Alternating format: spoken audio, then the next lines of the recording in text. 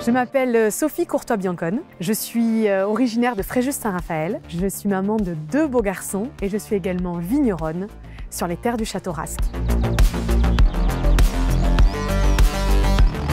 Mes parents ont acheté ces terres en 1983. Ma maman étant euh, petite fille de vigneron dans le Bordelais, elle rêvait d'avoir des vignes. Rêve réalisé avec mon père lorsqu'ils sont arrivés sur les bois de Rasque et qu'ils ont eu un véritable coup de cœur.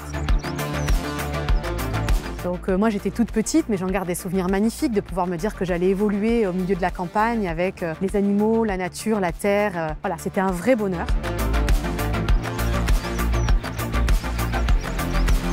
J'ai choisi de rejoindre mes parents il y a maintenant un peu plus de 15 ans.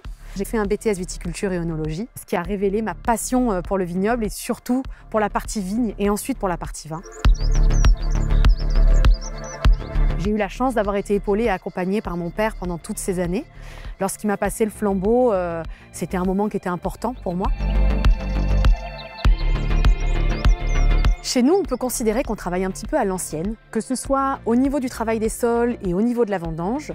Euh, c'est vrai qu'on attache beaucoup d'importance à la biodiversité. Et on a choisi de conserver une méthode de vendange à l'ancienne, puisqu'on vendange tout à la main.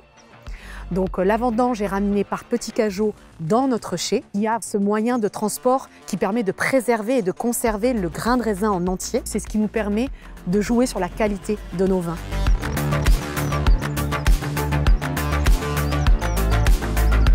Côté cuverie, on a quand même le froid qui est un élément essentiel pour pouvoir vinifier et faire de beaux rosés et de peaux blancs.